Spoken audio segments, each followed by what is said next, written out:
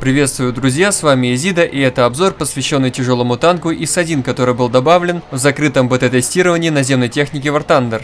Но для начала я хотел бы показать вам новую карту Кубань, на которой, в общем-то, и происходили бои нашего сегодняшнего обзора. На данной карте множество укрытий, обходных путей, есть позиции на высоте с хорошим обзором, местность как пересеченная, так и открытая. В общем, карта тактически очень богата. Существует три точки для захвата, куда, в общем-то, и стремятся команды из мест своего респауна. А самые жаркие бои проходят у точек А и С. В том районе имеются как возвышенности, так и низины, и мы попробуем максимально эффективно использовать все это для достижения нужного результата.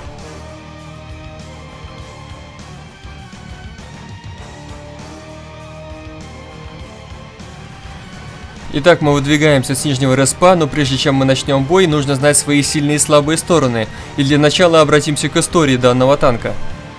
Началось все в 1943 году, когда наши войска познакомились с Тигром. Немецкий танк ничем не пробивался, не было такого орудия. В итоге Сталин позвонил Грабину после экстренного совещания и попросил его возобновить производство 107 миллиметровых пушек. Но были сложности, в частности из-за боеприпасов, которые требовали больших затрат поэтому остановились на варианте 85 мм. Изначально ИС создавался как танк прорыва, поэтому обладает очень хорошей броней. У него летая башня, кстати, эта башня будет еще установлена на танк Т-34-85, на котором также будет стоять пушка Д-5Т, тоже 85 мм. А теперь по бою. Как вы видите, я не тороплюсь ехать на точку захвата. Я остановился на небольшой возвышенности в районе кустов. Я задам вам вопрос, вы знаете, какая мышь самая сытая? Та, что приходит к мышеловке второй. В данном случае мы используем подобную тактику, чтобы уничтожать врагов, которые, сломя голову, летят к ней. Не спеша рассматриваем местность, используем танковый прицел, а также правую кнопку мыши для дополнительного зума.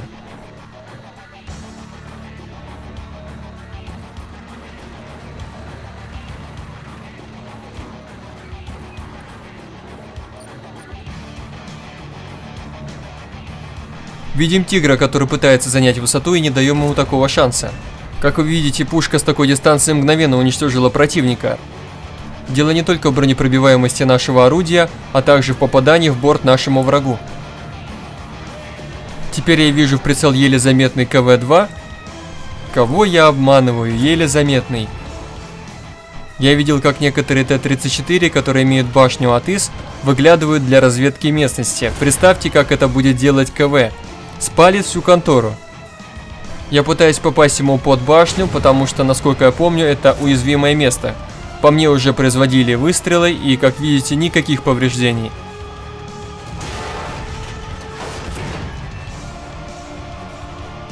Бегло пробежимся прицелом еще раз по местности, если никого не будет, двинемся уже к точке. Кстати, надеюсь, вы заметили, какой интересный камуфляж у моего танка. А, есть, конечно, художники, которые самостоятельно придумывают свои а, рисунки, но, тем не менее, стандартные камуфляжи очень и очень интересны. Замечаем какое-то движение и пытаемся выявить врага. Видим торчащий ствол в кустах и ориентируемся по прицелу. Да, кстати, не подумайте, что счетчик а, уничтоженных наземных целей слева является какой-то дополнительной опцией а, клиента наземной техники War Thunder. Тем временем враг затих, и мы еще раз как следуем пробежимся по правому флангу, чтобы выявить какого-нибудь а, засевшего в засаде противника.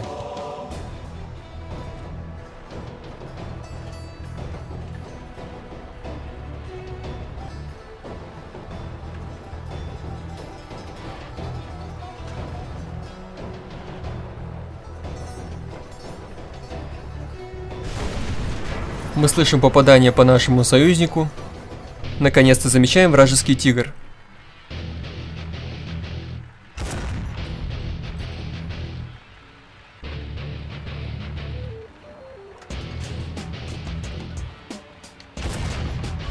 Как вы уже заметили, танки противника довольно легко уничтожаются при попадании в борт. На ЗИС С-53 я использую исключительно бронебойные снаряды.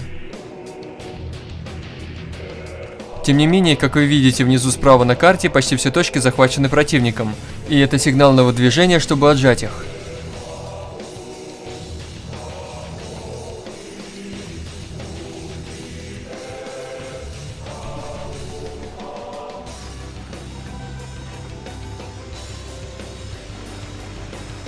Сейчас я решаю вопрос, как мне спуститься, и как итог выбираю самый безопасный путь – объехать справа. С данного наклона есть вероятность перевернуться, и не стоит рисковать.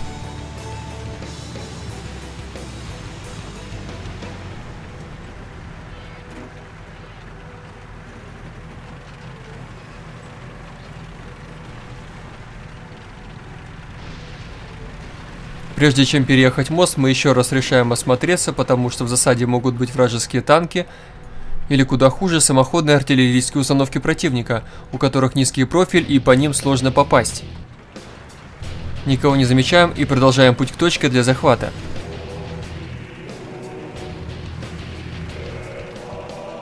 Боковым зрением замечаем вражеский танк.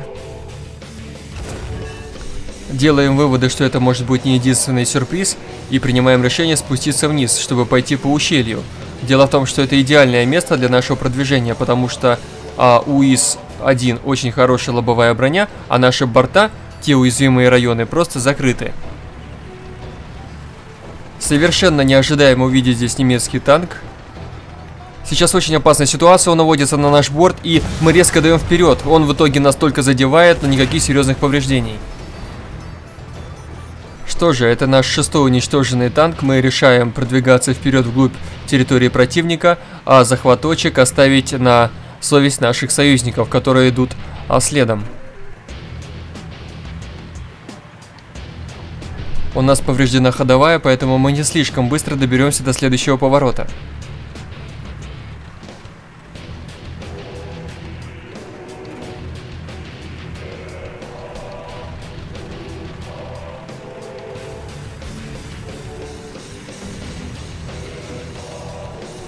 Видим грозного соперника, будет бой лоб в лоб, и это очень очень сложно, потому что э, Тигр, как и мы, имеет э, очень хорошую лобовую броню.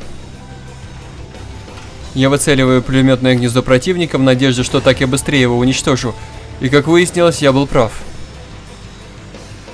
Судя по карте, мы прошли чуть больше полпути до вражеского распауна. Становится все опаснее и опасней.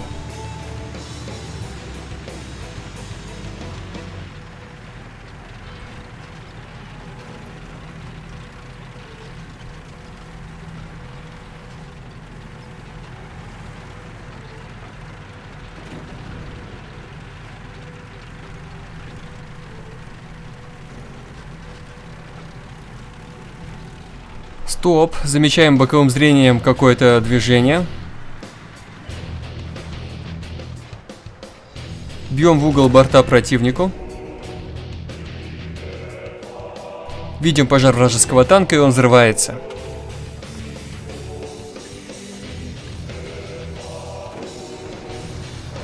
Видим контакт, снова останавливаемся, предполагая, что противник будет проезжать именно в этом районе. И мы его сейчас подстережем.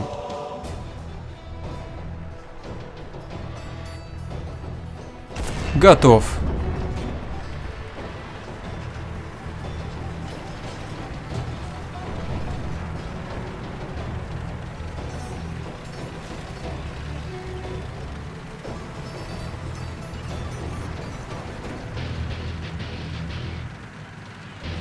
А вы знаете, когда запустят ОБТ, я думаю, будут ходить разные анекдоты на танковую тему.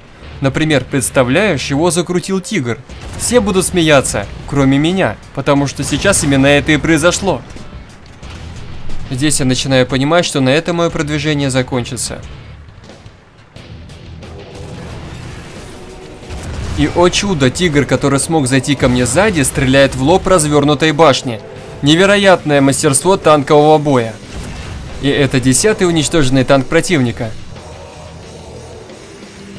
Этот результат является итоговым, далее следует бесконечная перестрелка с двумя тиграми на дистанции. Сзади меня окружили враги, так как союзники не поехали за мной.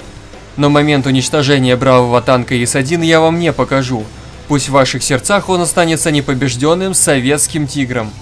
Пишите свои комментарии, подписывайтесь на наш молодой канал и группу ВКонтакте. И удачи в наземных баталиях Thunder!